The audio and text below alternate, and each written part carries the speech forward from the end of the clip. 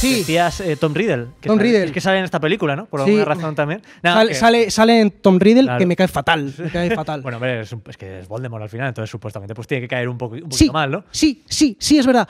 Pero yo nunca lo he, nunca lo he comprendido del todo. O sea, yo sé, yo sé que es Voldemort, Sí. pero yo veo a Tom Riddle como un pringao y a Voldemort como el puto amo.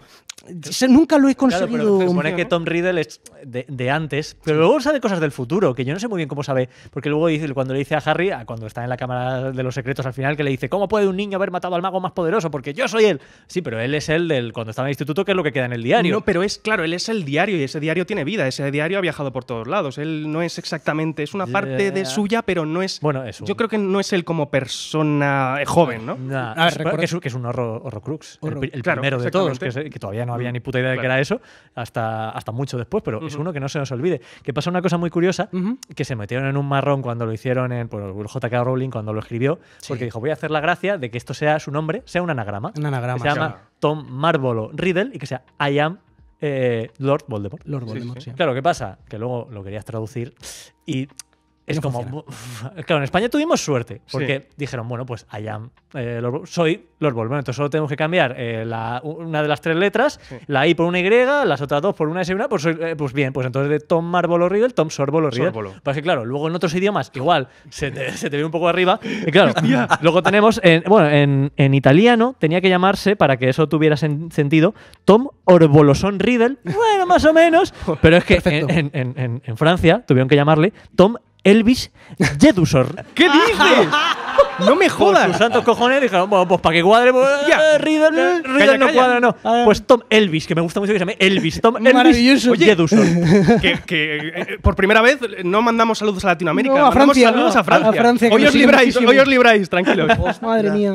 Bueno, ya nos dirán de todo. Están diciendo Hermione en este programa también. Bueno, Hermión, Ah, Hermión, Hermión. Hermión, Hermión, Hermión, Hermión. Ahí, ya lo tenéis. Oye, pero claro, Sorbolo eh, ni tan mal, pero en la película no, no hay cojones, ¿eh? Porque está escribiéndolo en el puto diario No, claro, y lo eh. escribe luego Tom Riddle, en el- hace el anagrama. Te, te ha jodido, ¿eh? Ahí No, no. pusieron un subtítulo y ya toma por culo. A tomar por culo. Quítate de no, pues cuando es una cosa de Pixar o tal, todavía te cambian el original, ¿eh? Sí, Y- pero era muy pronto para hacer algo así. A ver, habría sido la 2002. hostia. 2002. Sí, mucha- No, no, pues muchas cosas curiosas en Como esa en esta película. Como esa película, hay que recordar que es la segunda película dirigida por Chris Columbus, que es un especialista en dirección con niños, especialista en la Navidad también, por qué no decirlo, ¿no? Con Solo en Casa y tal. Sí, sí. Y fue la última, no sé si recordáis el documental que salió en, en- en HBO sobre, sobre Vol- Volviendo a Hogwarts, Sí, ¿no? Como se llamara. claro. Que hablaba Chris Columbus, por supuesto, y el resto de directores, Alfonso Cuarón, que ya dirigió la tercera, Ah. o David Yates, o esta gente, la, la de, la de después. Y que acabó escaldado, yo creo, Chris Columbus, ¿eh? Con esto de las películas de Harry Potter. Acabó un poco quemado porque como que le exigían mucho y se hacían tan rápido. Él siempre ha dicho que no dirigió la tercera porque quería pasar más tiempo con sus hijos en casa porque debe ser que en dos años,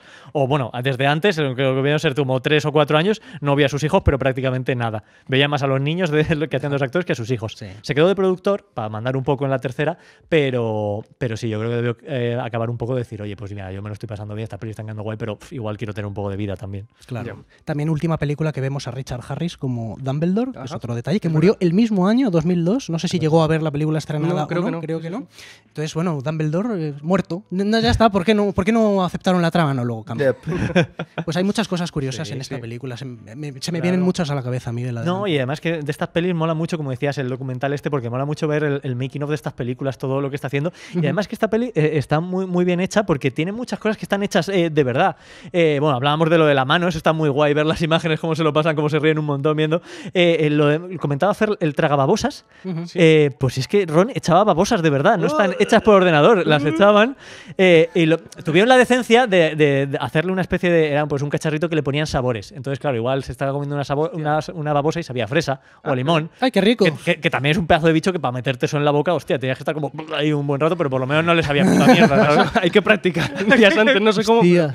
Eh, Hay que practicar un poquito. Cosas Pero curiosas. lo que decía también de que me gusta que esta peli tiene muchas cosas prácticas. eh, el Fénix, hay escenas que, que es de verdad. Y también un Fénix el- de verdad, Miguel. Es un Fénix de verdad. ¿Sabes que, que Richard Harris. Pero, Miguel. No, no, no, no. Ah, vale. No, no, no. Eh, lo- lo- ah, ah, es que no me has dejado. eh, yo Vale, no vale, también como tú, pero no. me Perdón, dejado- perdón. No, no, que Richard Harris eh, lo vio Y, y se asustó porque dijo, pero, pero si los Fénix no existen, ¿por qué, qué, qué hace aquí una ave Fénix de verdad? Esto no puede ser, no puede estar pasando. Y igual era ya también un poco un señor mayor que estaba más cerca- ¿no? Yo creo Estaba que cerca de la creo tumba que como- eso, sí, no, sí. es broma, es broma, No, pobre no, es broma porque Pero- murió, murió, murió, pero, pero, pero se cuenta una anécdota que llegó a decirlo.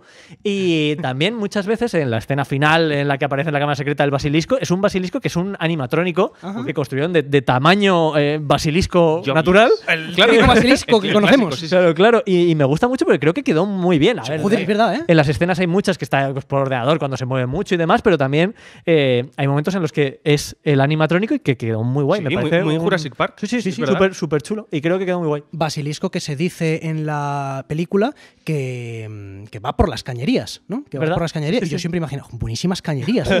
Las cañerías No, porque date cuenta que. Harry cuando escucha las paredes, eh, joder, pues está oyendo lo, lo que hay inmediatamente detrás sí. de la pared. Y yo pienso en las cañerías de una casa normal, ¿no? No, no, claro. Pues luego la- una cañería Sí, sí, gigantesca, ¿eh? cañería y-. Pero mucha mierda hay que desalojar. Claro, de sí, sí. Hogwarts, Ah, pero a mí lo que me da un poco. Sí, sí. A mí me da un poco de pena porque es el, el- el basilisco con más mala suerte del mundo. Joder, Sí. Porque recordemos, el basilisco lo que hace cuando, cuando te mira, cuando le ves a los ojos, es que te mata. Sí. O sea, te mata. Y en la película no mata a nadie el basilisco. Nadie. Ni una sola persona se muere por el basilisco. No, no. Porque qué casualidad que el, el gatico le ve a través del agua. Y el otro le ve a través de la cámara. Y el otro le ve a través de un fantasma. Y el otro a través de un espejo. No, y al final, si cuando tenía, nadie lo mira y no mata a nadie. Y cuando está ya puntito, a puntito, a puntito de matar, un pájaro, de, un, Sí, saca aparece un puto pájaro de la nada y, te, saca te los ojos. saca los ojos. ah, por tú, culo. qué pena. Ese pájaro por lo menos va a posta a Claro. arrancarle los Sí, ojos. sí, eso Sí. tenía más sentido, desde luego. Pero Había matado a alguien, eso sí, a Myrtle, a Myrtle la Llorona, que no la hemos dicho en personajes. Qué gran personaje. no, la odio. No me gusta nada esa niña. ¿no? Esa, es niña que, orgullosa. que la actriz tenía 37 años cuando hizo de 37. Myrtle la Llorona. Sí, sí, eh, sí. Se le nota, se le nota mayor. Sí, eh, no, no, no me gusta, no me gusta mal Sí, rollo. Myrtle la Llorona. Gran, fantasma, mejor persona. eso. Oye, eh, como hablamos también del basilisco y del fénix, hay una cosa muy importante y es muy curiosa. A ver. Y es que en la espada de Godric Gryffindor, ¿nunca os habéis preguntado por qué cojones un mago necesita una espada? O sea. eh, lo piensas Es verdad, es claro, verdad. O sea, es, No, un, no, arma, ¿para es un arma absolutamente estúpida para un mago, ¿no? Tiene la- las, las varitas y dices tú, ¿pero por qué? Pues era un arma que era precisamente para defenderse de los muggles. Porque claro, los muggles, muy por aquello, para, por aquel entonces, Hombre, los muggles estaban, mm, eh, bueno, pues es como brujería, hechicería, es un, un ser raro. Pues él lo que tenía era una espada para defenderse de eso. Recordemos Esto- que según la historia que cuenta McGonagall, eh, Hogwarts se fundó hace mil años por los cuatro fundadores ¿no? de, Sí, sí. de las casas y, y, bueno, pues me cuadra que se tuviera que enfrentar a los magos. Ya, pero, o sea, la cosa es que los muggles son los que no tienen magia. Ellos deberían necesitar la espada. La magia les debería afectar igual para enfrentarse a ellos, ¿no? No sé, también te digo una cosa. ¿Tú te has fijado, Pablo, que esta película siempre empieza Harry Potter, vemos el logo de Warner, vemos luego las letras de Harry Potter? Última vez que vemos las letras bonitas doradas Ah. de Harry Potter. ¿Te has dado A cuenta? partir de la tercera se empieza a ser. Sí, sí, sí. se tuerce, se tuerce la cosita, ¿eh? Se tuerce la Ahí cosita. empiezan a pasar cosillas. Empiezan a pasar muchas cosillas.